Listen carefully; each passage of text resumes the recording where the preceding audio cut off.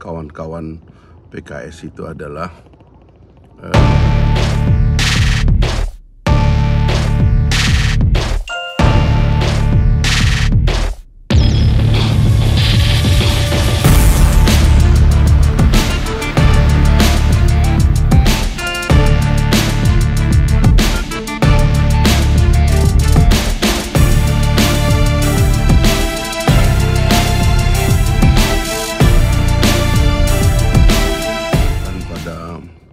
argumen kawan-kawan PKS itu adalah uh, dangkalnya argumen pertama-tama.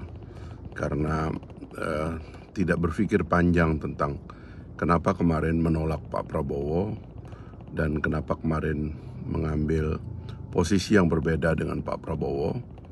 Dan bagaimana sebenarnya mereka memformulasi uh, gagasan perjuangan dan pikiran-pikiran perjuangan yang mereka anggap berbeda atau apakah hanya sekedar mau menempel pada keinginan uh, figur-figur tertentu yang kita nggak tahu dasar berpikirnya gitu.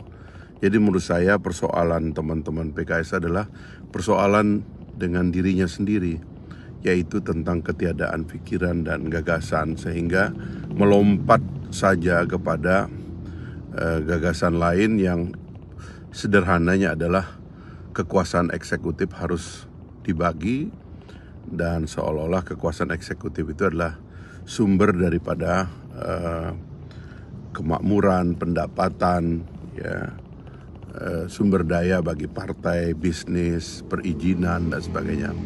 Saya kira hal ini harus kita stop karena kita ingin menegakkan presidensialisme yang dipimpin oleh seorang presiden yang dipilih oleh rakyat.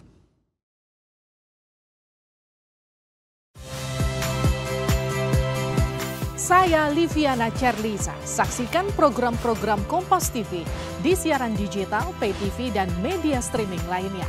Kompas TV, independen, terpercaya.